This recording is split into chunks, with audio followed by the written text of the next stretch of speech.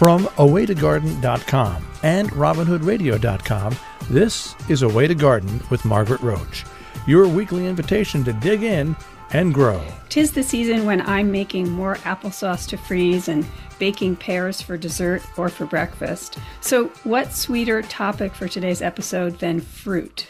Lee Reich, who has written several books on the subject, is here with some fascinating history of the origins of the fruits we love and some how to growing advice, too. So, more in a moment, but first, this message. Underwriting support from Color Blends, supplying top quality spring blooming Dutch flower bulbs to landscape professionals and ambitious home gardeners.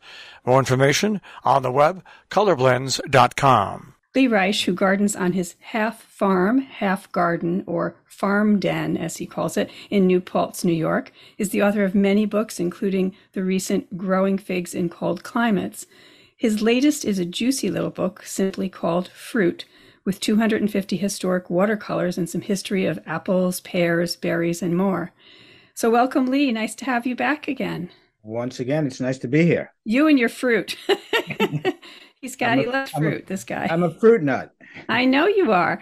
Um, so uh, before we get started, I'll just say let's have a giveaway of the book. It's kind of almost like a little gift thing. It's it's small and chunky. Like it can fit in your hand. You know, it's it's this fun little little uh, little thing. And um, so we'll have a giveaway with the transcript of this show over on awaytogarden.com. So yeah, so this project I think had sort of special interest to you because of a past connection to sort of the place where the watercolors that are featured in in it, um, or near the place uh, where they're stored, where they're archived. Tell us about how this began. Yeah, well, I um I had just finished my fig book last year, and it came out, and I wanted to take a little break from writing a book, or longer break, and I was contacted by the publisher, and uh, they said they had this book and they described it, and it was quite different from what I usually write. It's not a how-to book. No really it's really almost like an art book, some history, some yes fruit lore, of course. And uh, as I said, I wasn't that anxious to dive into another book, even though this one would require less writing from me. But on the other hand, it just seemed like, geez, I feel like that this I should write this book because yes. it seemed like it was meant for me for a number of reasons. One is that I'm crazy about growing fruits. I really like fruits, and I've been doing this for decades. And the other thing is the in the images that are in the book were done for the USDA. I mean, it's odd, but the USDA hired a number of illustrators between the late 1800s and mid 19 up to about 1940 something. I can't remember what it is. And they hired them to do these drawings, these illustrate watercolor illustrations of fruits, and they're really quite beautiful. And I, besides liking fruit, I really like uh, uh, drawings of fruits or illustrations of yes. fruits. have a number of other ones. And um, so that was one thing. The other thing is that all these were done for the USDA and they're housed in the National Agricultural Library. And I did my doctoral work in the fruit lab of the USDA right across the street from the National Agricultural Library. And I saw some uh, hints of other artwork, uh, fruit related artwork, when I go into the lab, uh, the main uh, lobby uh, when I worked there. So that was right. one thing that that really I, I thought good memories. Good yeah. memories, yeah. And, and, and also, and, I had been yeah. I had been exposed to a lot of different varieties. Some of these varieties are pretty much unknown, but I they had a big collection of apple varieties at the uh, Beltsville Agricultural Research Station where I did my research. Right. And uh, so, you know, I really got to know and, and taste a lot of different apple varieties. Yeah. So, why did they? Why did all those years ago, why were and and I think they commissioned mostly female uh, watercolor artists to do these. I think you say in the book, um, mostly women, and and uh, why why did they need these watercolors? Like, was it for reference so that uh, what what was the reason? Well, it started out um, the USDA. Um, this was a project that was in, initiated by somebody named uh, Henry Van Deman in the 1880s and he was actually an orchardist and nurseryman, and uh, and he wanted you know some way of promoting, I guess, his job and other people and similar jobs, you know, uh, selling trees, fruit trees. Ah. So he approached the USDA, and he was appointed head of the newly formed division of pom- pomology, pomology science of fruit growing, P O M, not P A L M. Yes. And uh, it's interesting. I came across this one figure that the first artist they hired was a man, William Prestele, and he was hired in 1887 at a thousand dollars a year, which seems like a lot for 1887, and it probably was a lot because it was one third of the division budget at the time. And uh, oh wow! So, so the um, so the whole purpose of the project was really to help promote commercial product, commercial ah. Promotion of the fruits, but also so that you know if somebody went uh, to buy an apple tree and then, then it bore fruit, they could uh, see that this is the same fruit that is this is right, what it is. Right. Right. And then I think there was a certain number amount of chauvinism in this whole thing about American. There were a lot of American varieties of apples that had developed, and uh, guess they wanted to show, well, you got you Europeans have your apples, but we also have quite a few of our apples. Right now, so apples are not an American native crop. They're sort of naturalized, I guess, since colon, the early colonists brought them over. But where do they come from? Like Kazakhstan or something initially? Is that their native land? Yeah, the, their their origin is uh, in Kazakhstan in the mountains, but um, you know you would think that they were native here, since especially in apple growing regions such as here in the Hudson Valley, there's wild apple trees all over the place. Right, so they have naturalized. Yeah, um, yeah, yeah. Um, and uh, so you know, in the book there are many apples. Or I think there's more apples than anything else in these little watercolor portraits uh, in this little, again, sort of like a gifty kind of feeling book. Um, so some, I mean, some have hilarious names like Red Democrat. Oh, I, I wanted to mention that one. uh Okay, well, tell me. that, that was one. I mean, I know not a lot of these varieties. People just, you know, they had a seedling in their in their property, and they uh, and it bore fruit, and they liked the fruit, and uh, and they just made up a name. So I haven't never heard anything else about this Red Democrat. Uh, uh, besides in this book. And there's a number of varieties like that. Another one that um, I don't know if this one actually made it into the book because you know I chose them on the basis of their name and how pretty I think the drawings were. Right. and also some with historical value. But there was another one called Ozone. So I think that one wouldn't sell that well either now. Huh. Now, so you just have to think about like people maybe selected a variety that you know popped up in their yard or whatever their farm or whatever. So apples don't come true from seed. Like if i have a particular variety of apple and i take the seeds from the fruit and plant them i'm not going to get that identical genetically identical apple variety. Is that correct? Right. I remember um, when i worked i actually also worked for cornell in uh, fruit research. And when I remember years ago uh, speaking to the apple breeder at Cornell, and they had estimated that if you plant an apple, say if you took a McIntosh apple, you took out the seed and you planted it, and that seedling bore fruit, there's one in ten thousand chance that that fruit would be as good as the the original. Or wow! Even, or even that it might be good. So you have to plant a lot of apple seeds to breed a better variety. But you know, at that time, uh, in in this country in the 1800s, a lot of apples, a lot of seeds were just planted. Uh, one Johnny Appleseed being one one of those people. Right. Seedlings popping up all over, and there's a lot of bad ones, but there are you know quite a few good ones that originated. So where did Red Delicious? Speaking of a famous apple, um, unlike some of the ones you just mentioned that you know we've never heard much about or anything about. What about red delicious? Because that's first, ubiquitous now yeah? Right. First i think red delicious is more infamous than famous. Ah okay. Just of its quality. But uh, that originated in the 1890s on a farm in iowa of a farm of jesse hiatt and he thought it was really a good variety. And it, it looked quite it looked actually and tasted quite different from today's red delicious and I've actually grown it. You can still get um, scion wood, which is how you propagate new apple trees, and you can make your own original red delicious. But uh, first of all, the color it's it's uh, sort of red and yellow striped. That's one thing. The second thing is it does have a delicious flavor, believe it or not. Mm-hmm.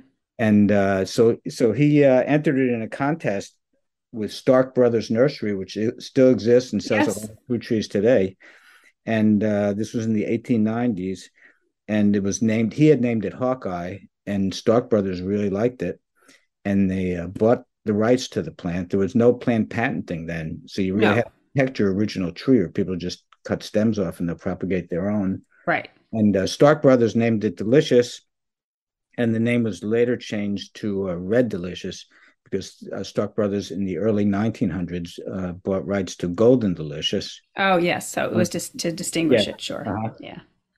Yeah. Um, so, uh, you know, apples are not that easy to grow in the Northeast where they are, however, grown a lot, or especially organically, they're not right. that easy to grow.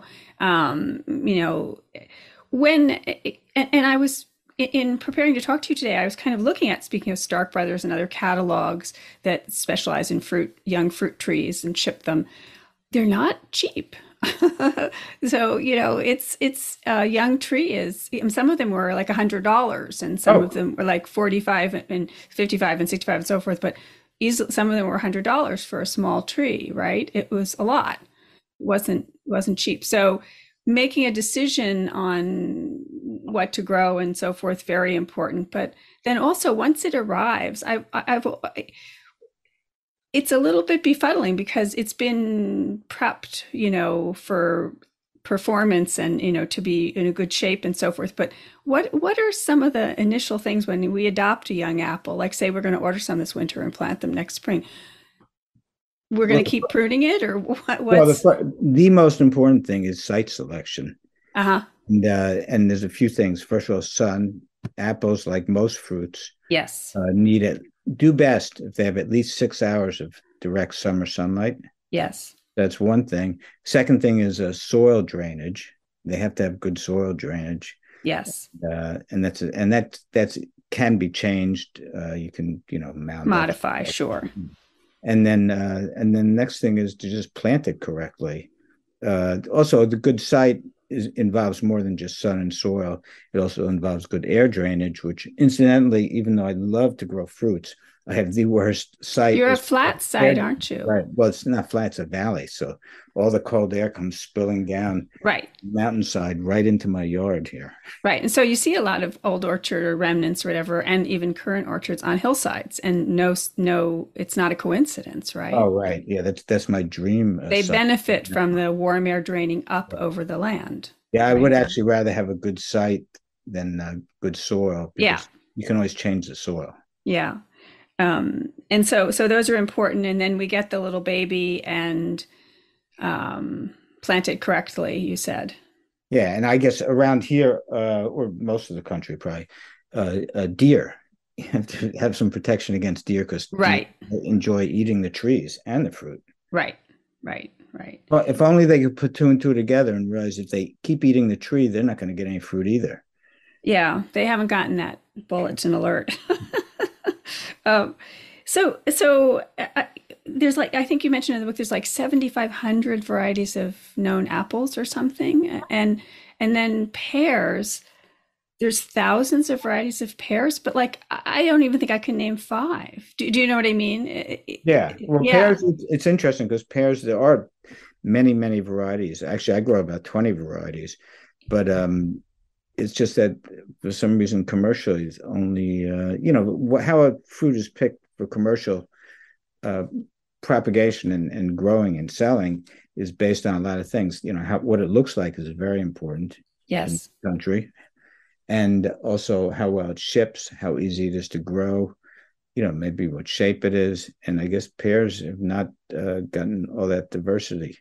No. I, I, have to say that so, so I grow a lot of different varieties of pears and I've tried them, and if I don't like them, I just regraft them to another variety. And the variation in uh, flavor and texture of apple is really far greater than just about any other fruit I find. I, yes, the texture for me is one of the important things with pears, and that could be very different. Um, right. Yeah, yeah, definitely. Um, I'm more on the buttery side than I am on the other side. Right. So. so you don't like Asian pears then? Not no, they're too watery for me. I mean, and they're, they're good, but they're not. To me, a pear is more that rich, buttery kind of. You know, I like them that way. And you know, as I, I think I wrote in my book, you can thank two Belgians for the butteriness of pears. Uh huh. You did write that in the book. Yeah. Yes. So that was in the 19th century. Two Belgians. Uh, some one one's name was Nicholas Hardenpont, and the other one was uh, Jean Baptiste van Mons. And they they planted thousands because pear, like apple, doesn't come true to, from seed, but they Right. planted thousands and thousands of seedlings and selected uh, some really good varieties. And pears became much more popular in a much wider range of varieties in Europe, and I think they still are than they are here. But there are a lot of very good varieties. One of the most famous ones that is, uh, I don't know if it's widely grown, but it's, if you ever taste it, it's probably the best pair there is. Is uh, Comice, Doyenné de Comice. Yes. I don't know how you say it, but yes, yes, yes. Yeah. Um, so, uh, so apples and pears, and in fact, all the pome fruits and stone fruits, I think you say in the book, all are in the rose family, different subfamilies, but they're Right. all related genetically. Yeah. yeah, and they're related to roses. Um, so that's another kind of interesting uh, thing about them.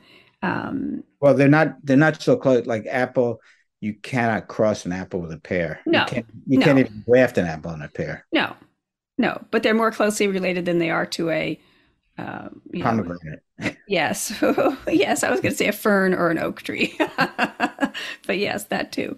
Um, uh, so, uh, yeah, so with the um, you also go so you you talk about pears and and again, even though there are thousands, we may know so few and so forth, and there is a range of of textures and flavors, but most of us don't really know that as consumers at the market, you know.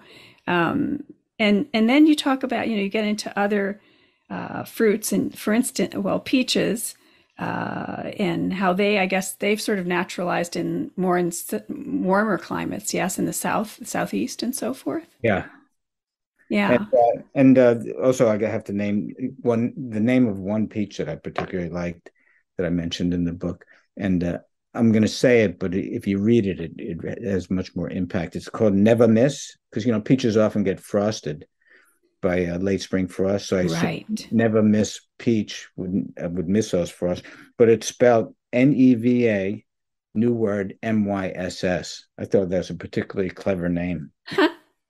interesting um, and you talk about berries too and and what's a berry and what isn't like i- is did i get this wrong was i like falling asleep while i was reading or, or you know too tired to get it right was it as a banana and a grape a, a, a berry what Well, make it make it even better. Banana and a grape is a berry, but a blackberry and a raspberry are not berries.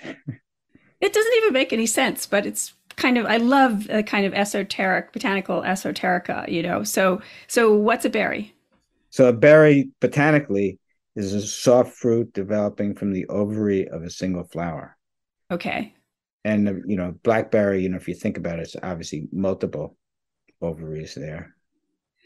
So it, you can tell that because you see uh, if you look at one what we think of as the one fruit, the one berry, it's really like all these tight little things together. Each one has a seed in it, and each one was from an individual flower. They're all sort of packed together. Well, that actually, uh, it it's not. It's from an individual flower, but uh, multiple ovaries in a flower. And Okay. so that- And so a raspberry and a blackberry and a strawberry, they're all called aggregate fruits. Okay. And a mulberry is a fruit such as you just described, where each uh, each little round thing in a mulberry fruit is um, is has its own flower, so it's derived from uh, Oh. multiple ovaries. Oh. But a banana and a grape are berries. Okay. And a tomato. Okay. So I know everyone also well, tomato is a fruit, but a tomato is technically a berry. It's even, you know, to Right. even distinguish it that, I, I see. Right. Um, Legally, actually, it's a botanically it's a fruit and a berry. Uh, legally, it's a vegetable. right, right, right, right. Inter- yeah, and it's commercial. It's represented commercially as such and so forth. Yeah. No, So if it's, get a parking ticket, it's you know vegetable are, are, are allowed to park there, but not fruit. So just to get back to some of the the tree fruits, so to speak. So, so like the pears, where do the pears come from? Not the same place as apples, and where do peaches come from initially? I mean, before Right. Well, pears coming from about the same place. I can remember somewhere, you know, in that part of the world. uh, Okay, Kazakhstan, uh, in particular. okay, And then uh, peaches and a lot of the stone fruits, peaches, plums, apricots, all those come from uh, China and Western Asia. Except with plums, it's sort of interesting because plums, there are a lot of na- native plums, and there are also plums that are native to Europe. So you have three different species, and they've been hybridized. So you know, some some varieties are a mix of, uh, or most plum varieties now are a mix of, uh, you know, either Asian and or um, European or uh, American. Okay. Um, so we have maybe three, four minutes. I wanted to just ask some more sort of if I'm thinking of ordering for next year, you know, to start my own little fruit world here, my miniature Lee Reich farmden.